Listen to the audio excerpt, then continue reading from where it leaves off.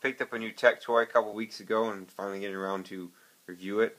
This is the SVP tablet PC, Android based. Uh, this is available on buy.com. The retail price was $200 and it was on sale for $79.99 and there was a $20 off any computer coupon the day I bought this so I figured for 50 bucks an Android tablet, why not? Um, simple packaging. This is model TPC 0754. Uh, the description said models can vary by model number, so you're pretty much taking a wild guess when you buy these and which model you're going to get because I think there's four or five different versions. Basic box. Inside the box is the tablet. You get a charger and a USB to USB micro adapter for charging and docking and syncing to your computer. This is the charger.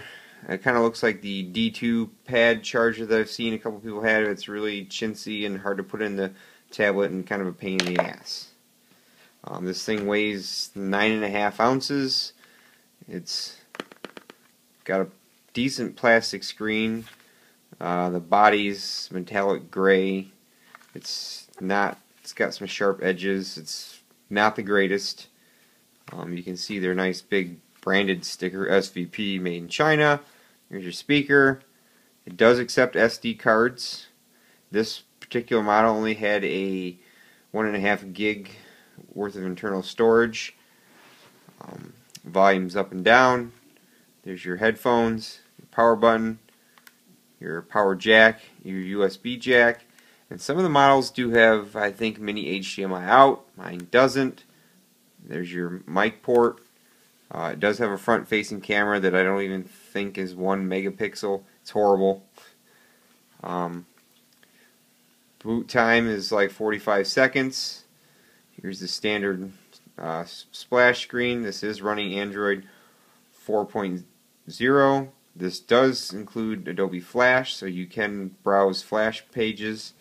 Um, it says Google Play.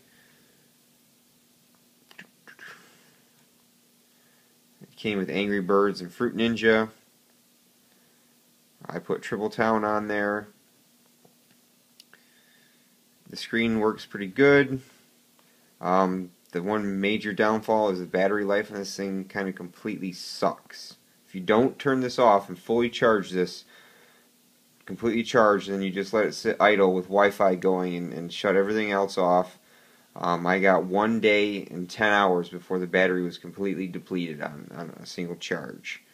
Um, I've gotten four or five hours of random use out of it using Wi-Fi. I did have to turn the uh, screen brightness down to like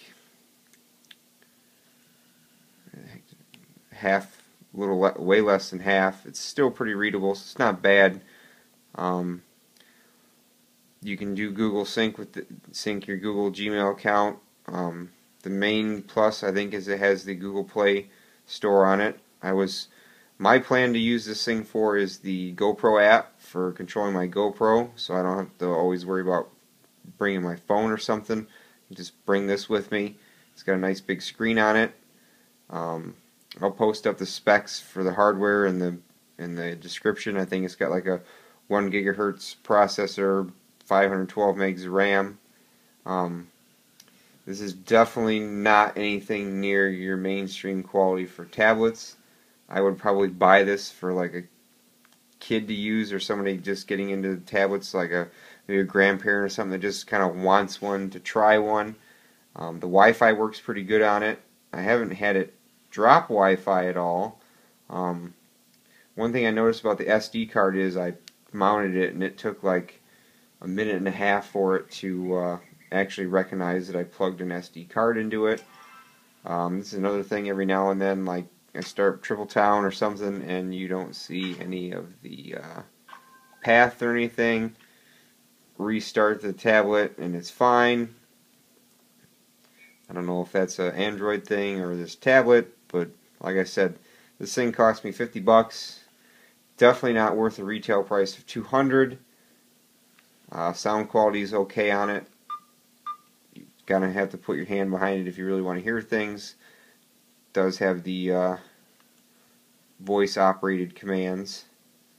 Search dog. Well, so other than that, uh, not a great buy unless you want it for somebody that doesn't have a tablet and just wants one to play with. Have a good one.